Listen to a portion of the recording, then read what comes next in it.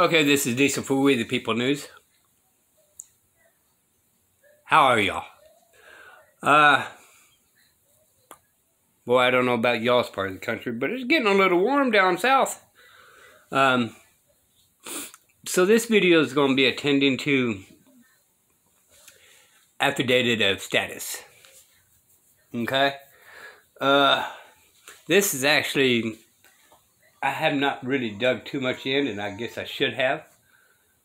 But it's actually a uh, pretty important thing. It kind of, in essence, tell the courts who you are.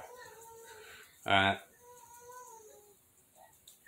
So, some of you guys know that I stand as a man. With the affidavit, uh, when you put it in, you're telling the courts that's how you're standing as a, a man. All right, you're not standing as a person or uh, people or anything like that.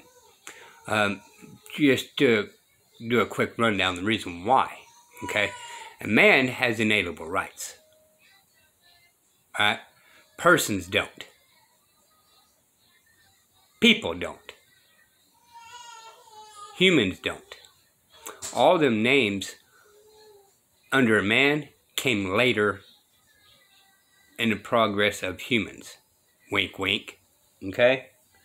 Uh, so the man always has the status of inalienable rights.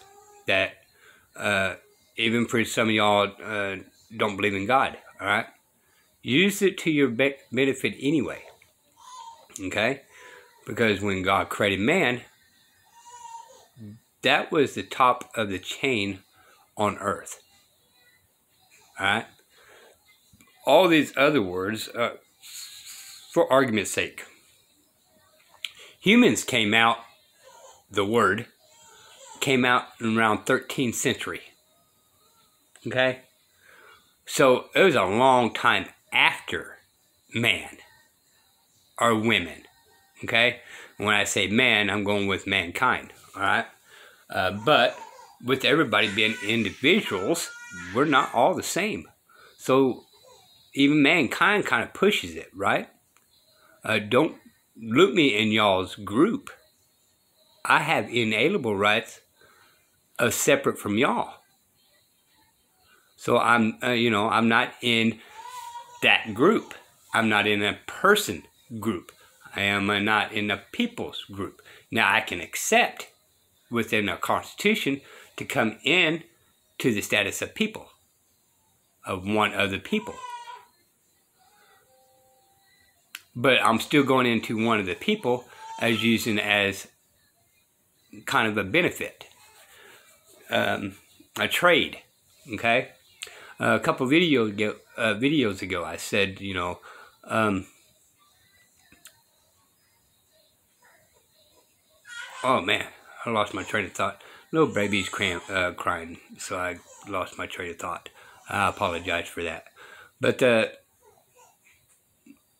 the Constitution is not the law of the land. Uh, we seem to think it is. But anytime you enter any contract, it voids the con, uh, Constitution. You uh, exchanged um, services with another. And then, as doing so, uh, you don't have the Constitution to sit there and back you up unless the contract involves within the guidelines of the Constitution. Okay? So that's where we're at. So always remember when we talk about how you have all these rights that the Constitution gave you, you already had them as inalienable rights. Okay? The Bill of Rights is there to protect your inalienable rights. That's what the government's job is, to protect your inalienable rights.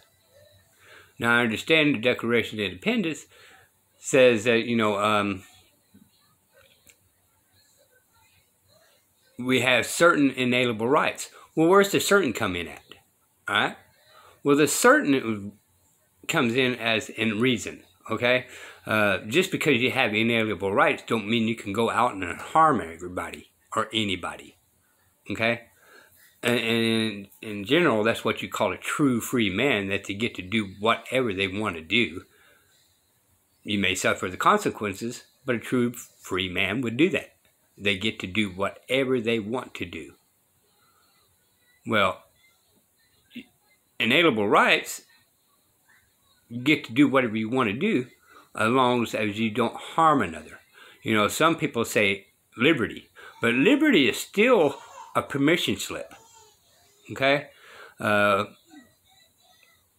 John Adams was uh, a captain of a ship. So when his uh, people was released on the land, he says, okay, go enjoy your uh, liberty. All right? Well, he gave them permission. So liberty is still with permission. Now, I showed uh, KrisAnne Hall a couple of times and kind of pinpointed a little bit how you do exchange services and guidelines of uh, entering private and public. Right? You, you do enter contracts on certain things. So when you do enter contracts, you need to really pay attention if this contract is going to benefit you. Um, you had to look at the other videos. It's been uh, what my kids say a minute since I, I've done it. But we still go back and within the guidelines of the Constitution is to protect our, in, our inalienable rights within reason. Okay, our liberty. Uh, because, you know, sometimes we had to ask for permission. All right. My inalienable rights protect my family by any means necessary. And liberty is the same way, but they still had some type of permission. Okay? Um, within the guidelines. And I don't know exactly where the liberty permission is, but when you really tie together, it's still permission. Okay? And alienable rights is just God given to you. you know, uh, we get back into the the status of an affidavit of status. Okay?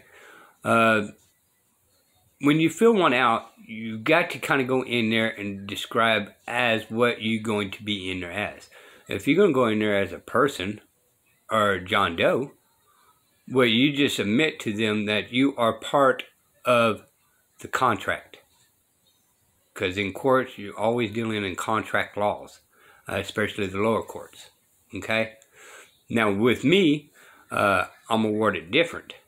Now, I'm going to double check on some of my words because this is actually something I'm really new at. And, uh, and uh, I've heard it, I just never played around with it and never really fully understood it. So I'm still working on fully understanding it. But I'm going to stand as a man and give my name so that way the courts know. When I walk in there, I'm above them. Okay? I'm also going to put in there and I'm going to double check on everything because when you go into court, you want everything spick and spin, right? So I'm going to go in there on my status and let them know plain out uh, I'm not a person. I'm not a people because nobody in there is going to be in court for me. I'm alone in this. Okay? So I cannot go and claim people when I, I have a bigger status as a living man. So you're cutting yourself short when you say you're a people, Are you're cutting yourself short if you call yourself human, and you're cutting yourself short if you call yourself a person. When God created us, He created man. He didn't create person. Man did that. He did not create humans. Man did that. All right. So recognize and get this the authority from the rightful uh, place. All right. I call him God. You know, y'all can call him whatever you want, or if you don't believe in it, uh, uh, put on there to you know basically saying that you're still above this, right? But you're not going to fall into their contract thing. person, human, or people. Now, it's okay to be one of the people. One of the people is a group of men, all right? And I go with mankind, right? There's a group. So when we do a protest as a group, you're you're part of the people because there's something wrong that's causing inalienable rights against you. So I'll, I'll give some more details later on, but I wanted to kind of point out that this is actually pretty important. Alrighty? So this is Diesel for We the People. Um, we shall see you soon, or we shall see you later. Stand as a man, stand as a woman. Set yourself free and always look all around you. And I am not an attorney, nor care to be an attorney. Take everything what I say with a grain of salt. Bye, y'all.